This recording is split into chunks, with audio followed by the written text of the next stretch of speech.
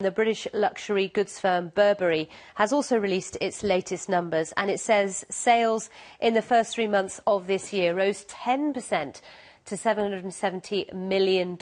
And there was particularly strong sales growth in Hong Kong and China. Let's speak to Douglas McNeil, Investment Director at Charles Stanley, who joins us from the London Stock Exchange. Uh, nice to talk to you, Douglas. Uh, interesting to note that I guess when these figures, they do reflect, do they, the Lunar New Year break and the fact that a lot of spending takes place in the run-up to that? Yes, that's right. But what we've seen is a, reassuring statement because there was quite a bit of nervousness in the run-up to, to, this statement. We've seen a few discouraging data points coming out of China in particular. Recently, we saw relatively disappointing GDP figures earlier this week. Uh, we've seen that sales of some other luxury items like Ferrari cars, for example, and Scotch whisky uh, seem to have been falling in the early part of this year. Um, so there was some nervousness around, uh, and Burberry seems to have dispelled those with the statement this morning. So tell us more about what they had to say then about the future and really is, is the success of, you know, for Burberry and, and its peers dependent on China and other Asian economies?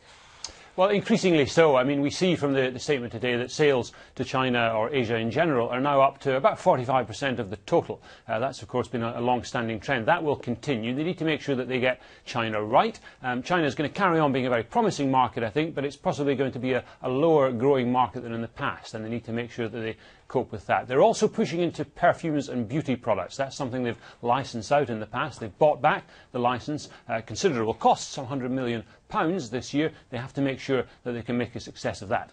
And tell us, as you say, about the changing demands for luxury goods, because some companies are succeeding, whereas others aren't, in that market of, of China and other developing economies in Asia.